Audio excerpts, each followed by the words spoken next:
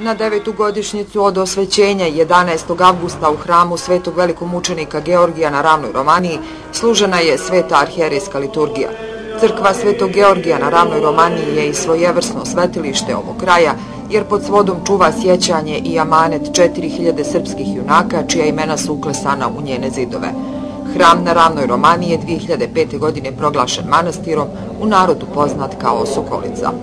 Romanija kao planina kroz vekove je opevana kao legendarna gora Romanija, ali uzet ćemo i to u obzir da Sarajevsko-Romanijska regija, gdje je isključivo živjelo uvek pravoslavno stanovništvo, nikada nije imala živog aktivnog manastira, ni muškog ni ženskog. Ovaj hram podignut je kao znači, crkva, E, koja je osvećena 2002. godine, a 2005. godine isto imena crkva Svetoga Georgija proglašena je manastirom i od tada po prvi put u istoriji na Sarajevsko-Damanijskoj regiji nastanjuju se muškarci, monasi koji žive tako reći jedan duhovni manastirski život po kanonima Svete crkve naše. Manastir je posjećen od strane naroda, s obzirom da jedini, kažem i ponavljam, živi aktivni manastir na ovoj regiji ovaj, ujedno je i parohijska crkva, znači za, jednu, za jedan ovde kraj dole koji gravitira s desne strane puta ka Sokocu, a onda ovaj, imamo poneku i dečiju ekskurziju, ekskurzije našeg naroda i naših blagočestivih vednika, kako uh, leti, tako i zimi. Romanija vijekovima već diči se svojim slobodarskim duhom, dijelima svojih junaka. Neizbrisiv trag srpske opstojnosti na ovom području je i hram Svetog Georgija i manastir Sokolica.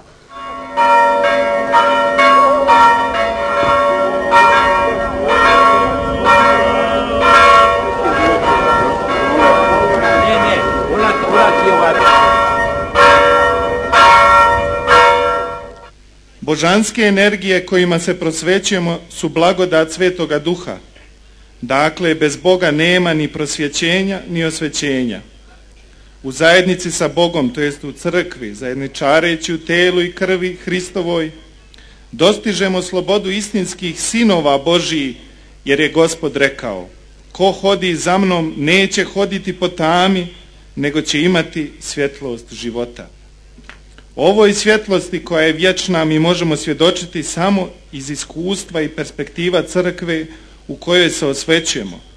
Kao članovi tijela Hristovog smo pozvani na svetost i imamo odgovornost svjedočanstva svijetu da je Gospod Isus Hristos, vječni sin očev, kroz koga je sve postalo, jer reče Bog neka bude svjetlost i bi svjetlost.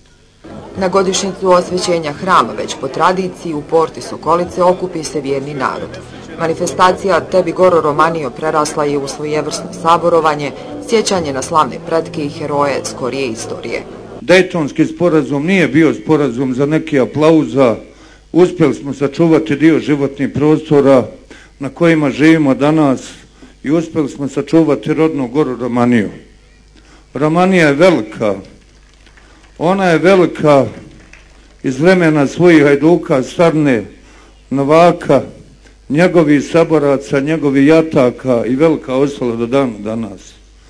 Neću biti kurtoazan kad kažem da je Gora Romanija dala najbolje borce u gvozdanom puku pod komandom Vuka Popovića i mnoge, mnogi borce nikada nisu vratili na ove terene iz Prvog svjetskog rata.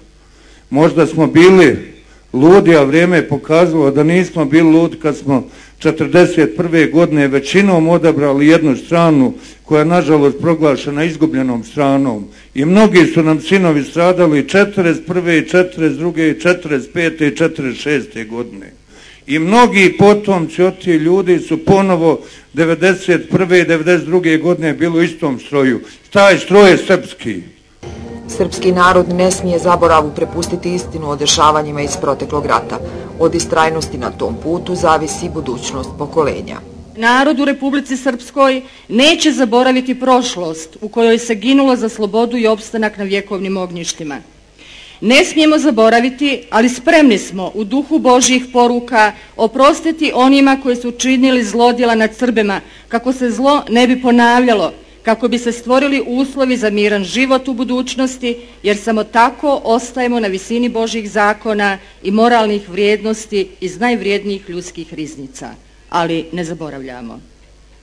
Pošaljimo danas poruku predstavnicima međunarodne zajednice, koji neredko čine velike greške u ocjeni onog što se dešavalo na ovim prostorima u minulom odbrambeno-otačbinskom ratu, da se bore za istinu i pravdu, poštuju sve žrtve, osude one koji su se ogriješili o međunarodne konvencije i pravila ratovanja. Samo tako možemo se Iz, samo tako može se izgraditi suživot na prostoru Bosne i Hercegovine i na području ex-Jugoslavije. Slobodarska Romanija po tradiciji je odredište članica kola srpskih sestara Pale. Vješte ruke pripremale su tradicionalna jela po receptima koji, nažalost, polako padaju u zaborav.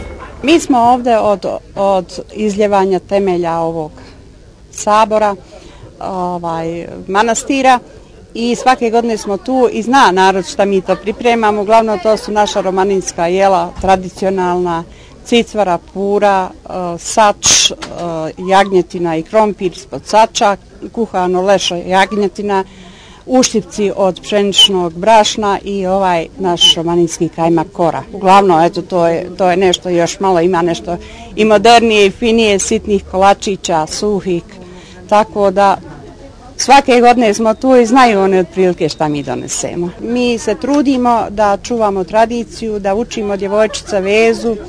Imamo jedan problem koji nas prati već deseta godina, mi smo bez prostora pa nam je malo teško organizovati to sve, a uglavnom nismo stale sa radom, imamo nekih 4-5 manifestacija u toku godine i to ne preskačemo, organizujemo se i radimo.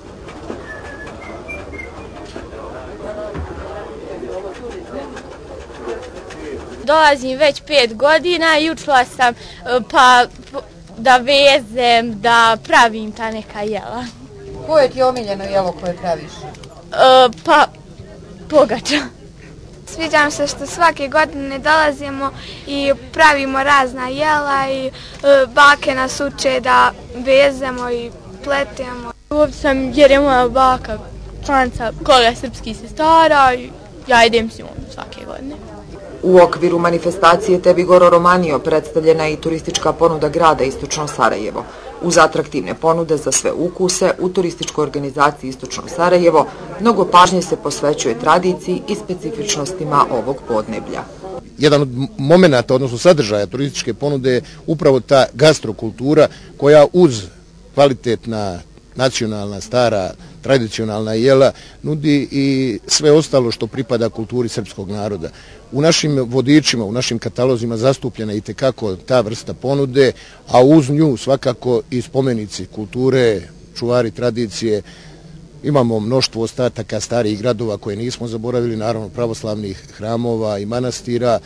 I uz to e, ljude koji čuvaju njegovu tradiciju kroz pjesmu, igru, i sami znate da kulturno-umjetnička društva jesu riznica i na svu sreću funkcionišu, tako da sa njima imamo isto tako kroz e, dobra druženje, manifestacije, odličnu saradnju i mislim da i to jedan od načina da ljude privučemo, jer izgleda da smo došli do spoznaje da ljudi sa strane koji prvi put se susreću sa tom vrstom pjesme, sa tom vrstom igre, priče, e, događaja i tog nasljeđa izgleda više e, više ih to zanima od nas samih, nama je to nekako postalo uobičajeno, međutim, došli smo na svu sreću do spoznaje da i to treba uvrstiti i ponuditi onima koji nam dolaze sa strane.